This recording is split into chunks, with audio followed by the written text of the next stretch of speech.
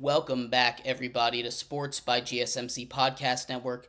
I am your host, Jeremy Lapidus. If you are just tuning in, we just broke down a little bit of hockey. In our third, in our second segment, we broke down. Excuse me. We broke down the NBA action, uh, all the huge news coming out, and the changing of the guard that's happening there. And in our first segment, we talked about Luis Arraez and the huge trade that took place between the Padres and the Marlins over the uh, weekend. In this segment here, we are going to take a look at the NHL bracket. We did uh, NBA round two predictions on Friday. Here we are going to do NHL round two predictions. I'm going to give you everything you need to know about these matchups coming up in the second round. And we're going to start off with the series, uh, but before we do, excuse me, remember that if you would like to be an even bigger part of the show than you already are, all you need to do is go to gsmcpodcast.net. Leave a tip or donation with a message in it. That message will pop up on the bottom of the screen for you, me, and everybody else around the world to see. If you have a burning question about sports, anything you would like me to talk about, all you need to do is leave a donation. You can control what we talk about here on the show. Again, all you need to do is go to gsmcpodcast.net, leave that tip or donation. We appreciate all of you taking time out of your day to watch, leave a comment, and uh, enjoy talking sports with all of you. But like I was saying, we are going to break down everything in the second round of the NHL draft. Uh, not draft, the second round of the NHL playoffs, the conference semifinals. Uh, there are four series, much like the NBA, the exact same format. We're going to start off with the series that's already kicked off the New York Rangers, the President's Trophy Cup winning New York Rangers, taking on the Carolina Hurricanes. The Carolina Hurricanes, uh, who gentlemen swept the New York Islanders four to one in the first series, and the New York Rangers, who swept the Washington Capitals in round one of their series. Uh, they take they they take on each other in that first game, and the Rangers win pretty easily the first period for the Rangers was just dominant. They had three goals on seven shots. They win this game uh, five to three on an empty net goal at the end of the game. Uh, and the Carolina Hurricanes battled back. You know, they were down 3 1 in the first. Uh, they battled back all the way. They score one goal late to, to bring it back within one, and it just isn't enough. Uh, the Carolina Hurricanes are a very good team. The Rangers came out forcefully. You know, they came out physically and they got a lot of shots past uh, Frederik Andersen. Now, he settled down through the rest of the game, and I think he just wasn't quite ready for the beginning of that game. And I think the, the Carolina Hurricanes are going to be able to come back. The issues that had been plaguing the Rangers didn't stop. They gave up a lot of power plays, and against a team like the the the the, the Hurricanes, that's a, that's not going to fly. And but on the same end, Carolina also committed a lot of penalties, and that's also not going to slide. Uh, which is the main reason they lost this game. Uh, if whoever, whichever team can stay the most disciplined, I believe will win this series. I have it going seven. I'm taking Carolina in this one. Uh, I just I trust their defense and their offense more. Goaltending goes to uh, Shesterkin and the New York Rangers.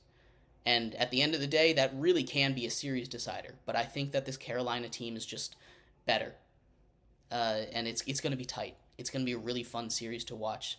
In the ho- in hockey, all all eight of these teams remaining have genuine aspirations to win the cup. Staying in the East, we can talk about Florida and Boston. We just talked about Boston uh, and how they they broke Toronto's heart yet again. Yet again, they break Toronto's heart. And yet, heading into heading into game uh, one against the Florida Panthers, their center depth is going to be an issue. Their goaltending is incredible. Jeremy Swayman and Linus Ullmark. We just talked about Jeremy Swayman's incredible Game 7 performance. Linus Ullmark is nothing to scoff at. They're going 1 1 1 1, switching off every single round, which is something that really we haven't seen ever in the history of the postseason it's really interesting to see how this works out. They've had this these two this true tandem for the last couple seasons, and uh, they decided to go with the hot hand last year, and it just did not work out. Uh, not sure why they were they were the best record ever in the history of hockey, and they lost in the first round to these same Florida Panthers. Uh, the Florida Panthers, relatively similar squad. Uh, Boston lost a couple key contributors. Florida's probably going to end up taking this. I wouldn't be shocked if Boston took this matchup, though. At the end of the day, uh, Boston is a very experienced roster. They have David Pastrnak, they have Brad Marchand, they have uh, a really good defensive core, they have the, a great goalie tandem. Like I was saying in that other matchup, if you want to be, if you want to be right in hockey, like 75% of the time without knowing anything, go with the best goalie. About 75% of the time, the best goalie is going to win that series. Now, it's not a foolproof solution, so I don't want you going out and claiming you're a hockey expert because you can see the best goalie. But goalies are fun to watch, man. And at the end of the day, it's a game about scoring goals. And if your goalie is a brick wall that day, it doesn't matter. They could shoot 100 times at you. If he makes 100 saves, you're going to win that game if you just get one. That's really what it comes down to at the end of the day. Uh, and both of these guys have great goaltending. Sergei Bobrovsky has hit another gear in the playoffs yet again. Uh, he does have some some lapses every once in a while, but he's been elite in that first round against Tampa. It's going to be a lot of fun. I think Florida's going to take this series because Boston just doesn't have that that depth that Florida does. And again, all of these series are going to be good. I have Florida taking this series in six games against Boston, uh, setting up a fun Eastern Conference matchup against Carolina. Heading over to the West, you have the Vancouver Canucks taking on the Edmonton Oilers in a series that could be better than it is. Uh, the issue for this series, and again, I'm going to straight back to goaltending, at least for Vancouver. Vancouver has a elite goalie in uh, Demko, and he got hurt. Their backup, DeSmith, got hurt. Now they are on Silvos, who is a second year guy out of Latvia who pitched a shutout in his in the last game, game six. But that was against the Predators, a team that doesn't really have an elite scoring option or an, a young elite scoring option. Now he takes his talents against one of the most talented hockey players of all time. Maybe, uh, you know, if he keeps this pace up, you might be able to put him in conversations against Wayne Gretzky to be the greatest hockey player of all time and Connor McDavid. Connor McDavid, Leon Draisaitl, Evander Kane, Zach Hyman, that offense for the Edmonton Oilers is stacked. It's what's gotten them this far. Their goalie play is okay. Their defense is okay. Both of those can be bad, but you know what isn't? Their offense is elite. They are going to score goals. 100% you can count on it. They are going to put up points. They are going to score goals, and there is nothing you can do to stop that. You could literally have a brick wall. They're going to score a goal. They'll find a way. They're that talented on offense. On the other on the other side of things, Vancouver, a really well balanced team, and in a series where they're completely healthy, where they have Dem where they have Demko, I think they win this series. We've seen it earlier this season. These two have matched up. Dem- Demko was able to shut him down. It wasn't easy, but he was able to do it. He was able to steal some games. They don't have him, and he's not going to be back for game one. Silvos is going to have his his uh his his hands full in this one, and I'm not sure if he's going to be enough. Now, this is not to say anything against Vancouver because they have an offense that's capable of keeping up with Edmonton.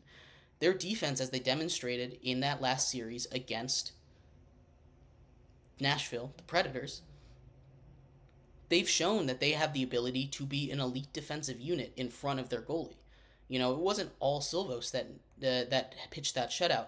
We talked about how low shooting it, it was. There's been so many blocked shots. They've been really good at getting in front of shots, stopping the defense. They've been really good at defense. Both of those both of those teams were elite at defense, the Predators and the Canucks, and it came out in a really interesting battle and now they've got to flip their switch. They're going uh, they're going from one of the better defensive teams in the league to one of the better offensive teams in the league. It's like a complete 180 if you're Vancouver, and you need to be able to be ready for that. I think it's going to catch them off guard, guard early, And I think that's going to really make them struggle a little bit in the beginning of this series. And I think really at the end of the day, the goal the the lack of having your starting goalie is what's going to lead to the end for Vancouver. And it's it's a shame because Vancouver this was their year. If uh, Demko could if Demko can come back in this series, I think they win it. If he can come back game 2 or if he can come back game 3 or earlier, I think they can win this series because I think he's going to be able to win this series for them because Edmonton's defense and goalie is bad. And Vancouver is going to be able to take advantage of that. But the elite offensive talent on Edmonton is going to be able to push them past this round if they don't have great goaltending on the other end. And that's what happened to the Kings. The Kings did not have good enough goaltending. They couldn't stay they couldn't keep pace with Edmonton and it's going to be a, it's going to be very similar if uh, Vancouver doesn't get elite goaltending. So I have Edmonton taking this series again. If Dembo if Demko comes back, I will go full 180. I have Vancouver taking it, but for now, uh, with Silvos, he's been playing great. Don't get me wrong, but it's not going to be enough. And the final game of the the final series between the Dallas Stars, who just played a brutal seven game series against the defending champions Vegas Golden Knights, and the Colorado Avalanche, who I can give you a very similar breakdown to what just happened in that last Western Conference series. Colorado is an elite offensive team. You have the probable MVP in Nathan MacKinnon, Cale Makar defensively, uh, Val Nichushkin, who's really underrated. He's been a huge, huge part of their playoff runs uh, injury prone, but he's there, and when he's on the ice, he's going to get points. On the other end, you have an elite goalie. I mean, and, and, and sorry, going back to Colorado real quick, their goalie is not elite. He's below average in almost every stat. Their defense is elite though, so it make it props him up a little bit. Uh, going to Dallas though, like I said, they're one of the deepest teams I have ever seen. They go four lines deep. Wyatt Johnston has been a huge stepping up for them. You know, uh, Roope Hintz and uh, all, the, all they have a young core and an old core that are both there and are both playing really good hockey. And they have an elite goaltender in uh, Jake Oettinger. It's going to be a very interesting series because at the end of the day, much like the last series that uh, Colorado played, it's going to be can Nathan MacKinnon and his friends be better than this elite goalie? And the last series, the answer was a resounding yes. They dominated. And it wasn't even that bad of a series from Connor Hellebuyck. It was just their offense was so much better. They were getting to all their spots. The defense for uh, Winnipeg did not do its job. It's going to be a fun series. I have, uh, I don't even think I gave my predictions for those last three. I'll run through it real quick. Uh, Florida in six, uh, and Edmonton in seven. Or Edmonton in six. I'll give it Edmonton in six. Uh, this series, I think this will go seven, and as I've been harping on all all segment long, goaltending, goaltending, goaltending. Jake Oettinger is going to steal this series. I have the Stars taking this in seven games. It's going to be brutal. It's going to be a brutal stretch for the Stars. They've played a lot of hockey and they don't get that much of a break. Every a lot of all these other teams got a nice little break, a nice little stretch, and sometimes that plays well, sometimes it doesn't. Um, but I have the Stars taking this in seven games. I believe in Jake Oettinger's ability to to make some elite saves, stop stop the uh, incredible offense that is Colorado.